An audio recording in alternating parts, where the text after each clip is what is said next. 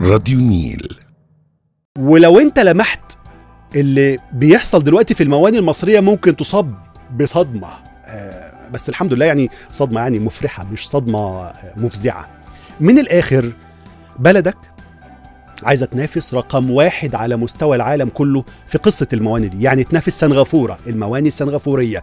لأن بلدك لما شافت الطفرة العظيمة اللي عملتها مواني سنغافورة في بلدهم مينا سنغافوره ده هو المينا ال- الأكثر ازدحاما على مستوى العالم عمل طفرة حقيقية موجودة جوه سنغافورة.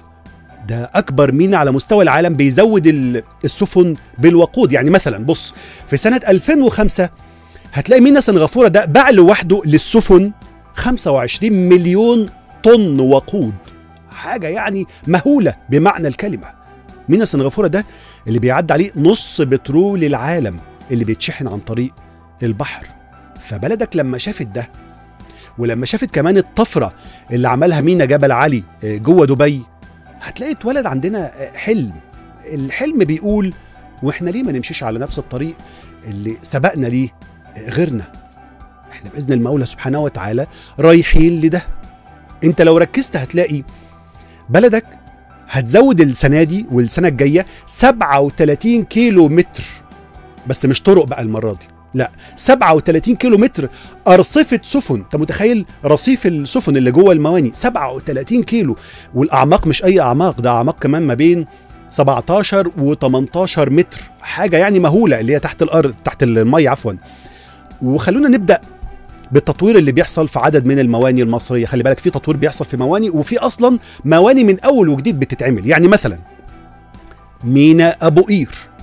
المينا ده انت بتنشئه دلوقتي ب 28 مليار جنيه علشان يبقى أكبر مينا في حوض البحر المتوسط كله. يعني هيكون أكبر من المواني التركية المواني اليونانية المواني الفرنسية الإيطالية الأسبانية مواني شمال أفريقيا كل المواني اللي موجودة على البحر المتوسط.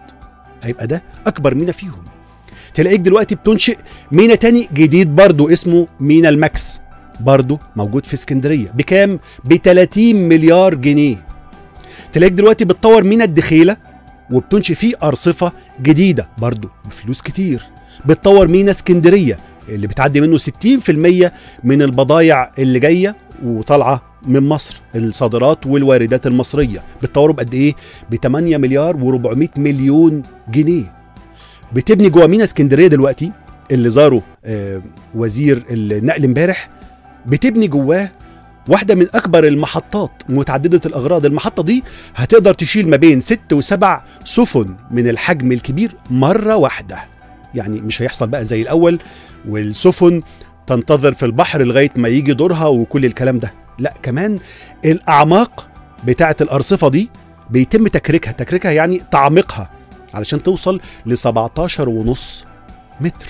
يعني تقدر تستقبل أكبر السفن اللي موجودة على مستوى العالم كله اللي ليها الغاطس بتاعها كبير مش باين تحت المية من غير ما تحك أو تشحط ومن غير أي خطر ممكن يقع على السفينة. يعني مثلا سفينة عملاقة زي Ever Given حضراتكم فاكرين Ever Given Ever Given دي اللي كانت قافلة قناة السويس السنة اللي فاتت.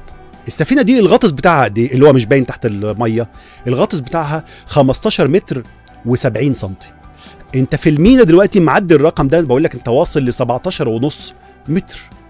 طيب نسيب مينا اسكندرية ونروح لمينا دمياط.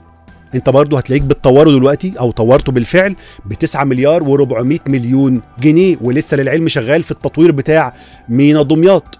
بتعمق الممر الملاحي بتاع المينا ده وبتطور حاجز الأمواج وبتبني محطة حاويات عملاقة مسميها محطة تحيا مصر. واحد علشان برضو تخدم صادرات بلدنا. عندك كمان مينا شرق بورسعيد كلفته قد إيه؟ 15 مليار و500 مليون جنيه. ده لمرحلته الأولى بس. أنت متخيل الرقم ده؟ 15 مليار ونص للمرحلة الأولى بس. عملت خط للسفن التجارية كمان في قاعدة برنيس اللي موجودة في جنوب البحر الأحمر عندنا جنب شلاتين. عملت محطة متعددة الأغراض موجودة في مينا سفاجة. بقد إيه يا سيدي؟ ب 11 مليار و500 مليون جنيه. داخل في تطوير شامل لمينا العين السخنة.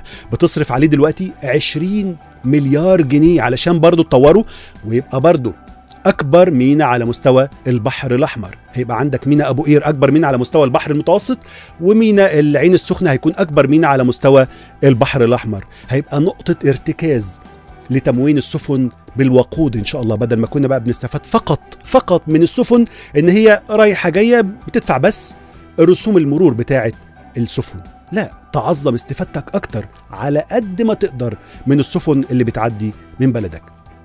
هتلاقيك برضو لسه شغال تطوير وكل ده تلاقيه بيوجد فرص عمل كتير لشبابك وناسك وأهلك. فرص عمل عظيمة للمصريين سواء بقى جوه المواني أو المصانع اللي هتتبني حوالين المواني أو الحركة اللي هتكون رايحة جاية. خلي بالك برضو المواني بتاعتك كانت سنة 2013 كانت رقم كام على مستوى العالم؟ كنا تحت خالص. في ديل القوايم كنا رقم 80 على مستوى العالم.